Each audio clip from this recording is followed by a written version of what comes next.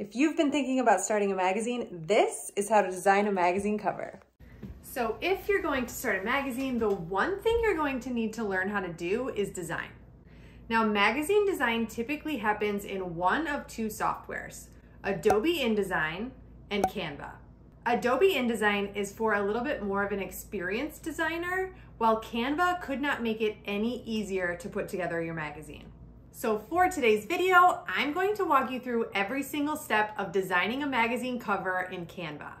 Now, before we dive into the tutorial, I do want to mention that I recently started the most comprehensive course for starting a digital magazine, and it's called the Editor Academy. Inside the Editor Academy, I walk you through every step from choosing a niche and a name all the way through planning content, designing, marketing, monetizing, everything you need to know about starting a magazine in seven weeks. So if you want to learn more, go ahead and check out the link inside the description box for your personal invitation into the Editor Academy.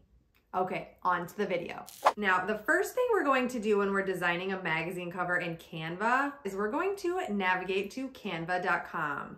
The next thing you're going to do is click create a design in the top right corner and you're going to click custom size at the bottom. So magazine covers are typically size eight and a half by 11, and we wanna change the units to inches. Once you've done that, you can click create new design. It also populates under the suggested magazine cover. So you can click that and click create new design. It's going to open up a blank canvas and this is what we're going to start with. So when you decide to design a magazine cover, it helps to have a little bit of inspiration. So I always recommend to look through magazines that you love, look through different types of designs for magazine covers, decide on one that you feel fits the vibe for your issue.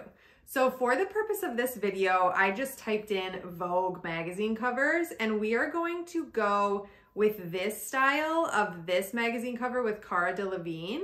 I'm going to go back to my Canva document here and the first thing we need to do is place our photo. So Canva Pro is something that I highly recommend if you're going to be starting a magazine. They have a lot of great imagery to work with. And I'm going to pull in an imagery. I just typed in fashion in the search bar to see what we have to work with here.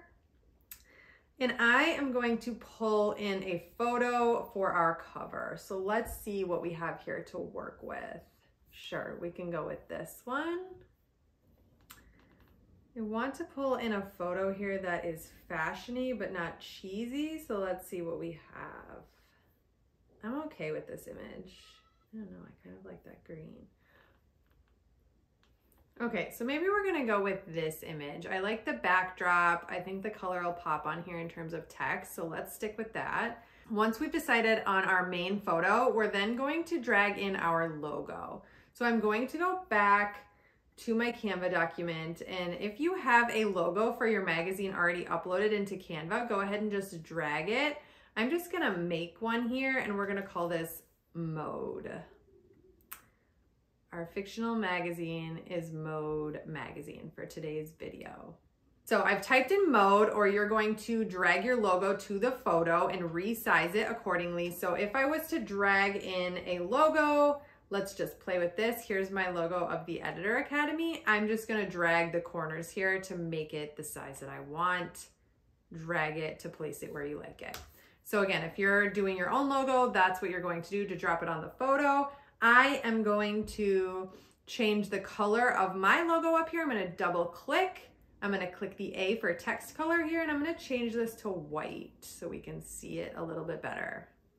Now, one thing we're going to want to do because the logo is covering her face, we are going to want to bring her in front of the logo. So an easy way to do this is to just drag that photo or place it on top of this image that we have right here. So one thing I'm going to do is I'm going to click Command C to copy and Command V to paste. I'm just gonna paste it right back over top of this one and I'm going to click edit image up here. And this is why Canva Pro is worth every single penny that you pay for it just for this.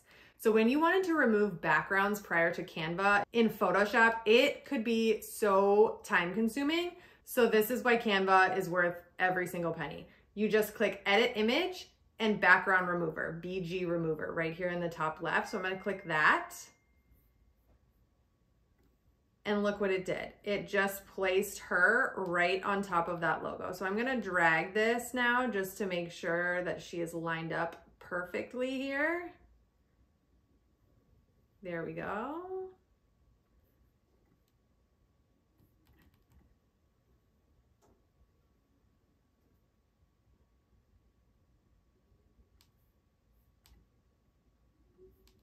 And now she is placed perfectly over top of our logo. So that is the easiest way. To, so now that we have our logo in Canva, the next thing we need to do is add our headlines.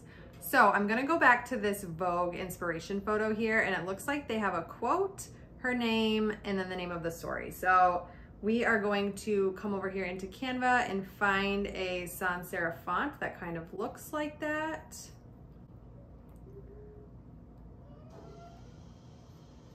So I'm going to click add a heading.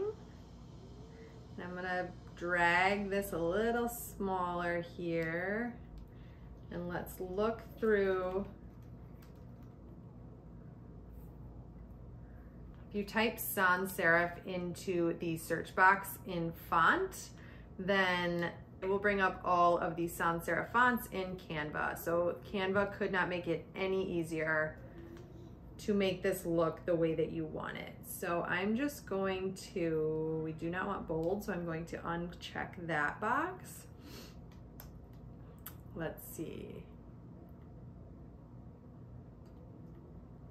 We're going to type in our quote. So let's start with, here's what the quote was. But see how this is sentence case? We want to make it all uppercase. So what you can do is just highlight the entire text box and then come over here to this at the top where it says uppercase. And I'm just gonna click that and it's going to turn this entire section uppercase. Now I don't really like this font. It seems to be a little too bold. So let's find something a little smaller.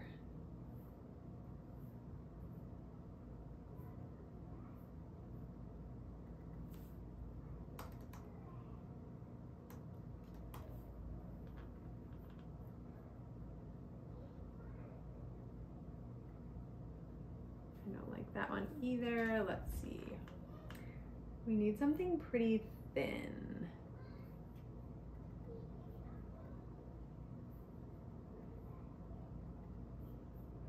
It's almost Futura. I'm not mad about it.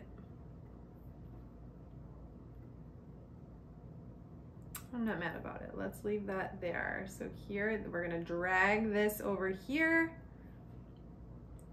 to where that quote is on the Vogue inspiration cover. And then we're gonna use the same font. So I'm just gonna click on this quote here, copy and paste. I'm going to drag it to make it bigger.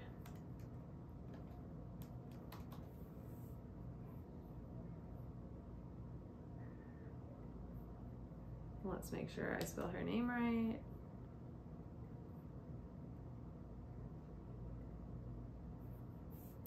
You know what? I still don't really love this. I feel like it's, oh, that's better. Okay, not bold is better.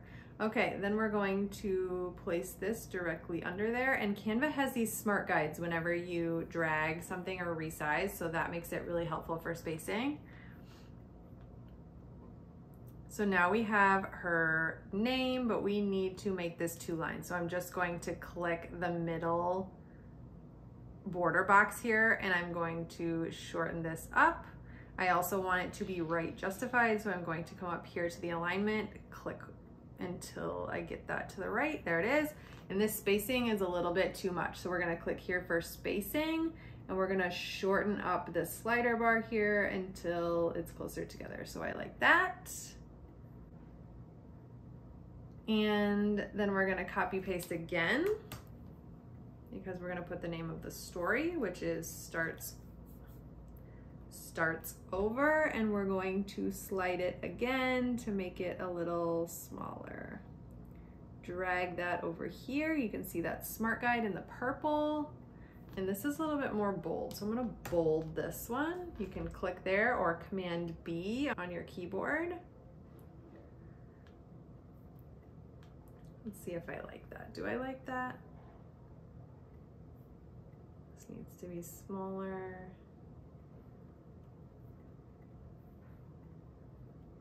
Let's maybe shorten this up.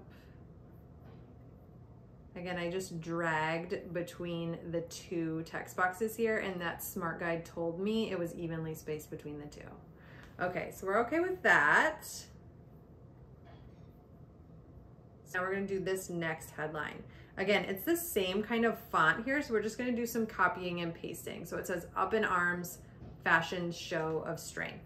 So let's go back over here to our document. We're going to take this, starts over, copy and paste it right underneath.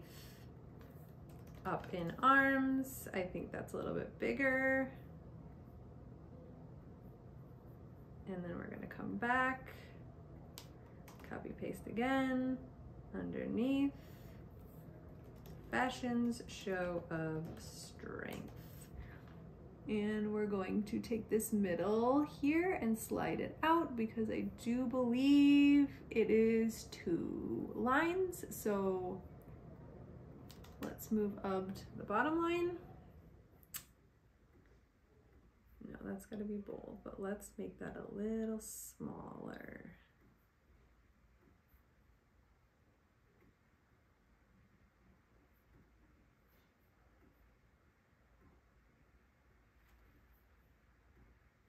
I'm just gonna use my arrows here to move that up. So that is done. And now we're gonna come down here and do this headline down here. Vogue's covers are very often very, very simple. Sometimes they'll just have a person's name across the center here, like this one, very simple cover. So do not be afraid to make your covers simple. Sometimes that is best. Okay, let's come down here and I'm going to copy and paste the I was not okay. I'm going to drag it down here and I'm going to left align that. I'm going to click the alignment box here until I get it left aligned. That says, okay, we're gonna type that headline out and then we're going to shorten this up which says on the record is on the second line and we're going to highlight, come to spacing, shorten up the spacing there. The designer on his path forward. So I'm going to copy fashion Show of Strength here, copy paste, drag it underneath of that, alignment again, the designer on his path forward. If I could type. And that looks a little wonky. So we're just going to highlight, and get the spacing correct, the alignment correct, left justified. Here we go. They have his path forward on the bottom, so I'm just gonna hit return here to put that on the bottom.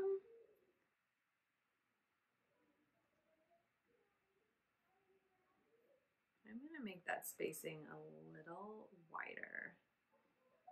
I'm going to use my arrow keys to move that up.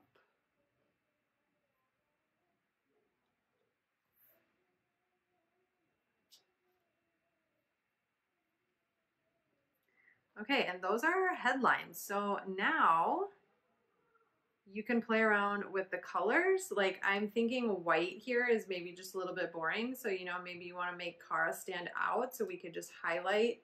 Maybe we want to make that yellow. So this is our finished cover. If you got value from today's video, I would love for you to like and subscribe and let me know in the comments which magazine cover style you want me to design next. Don't forget to check out the links in the description box to grab your free set of 10 magazine cover templates and for your personal invitation into the Editor Academy. Thank you so much for watching and I'll see you in the next one. Bye guys.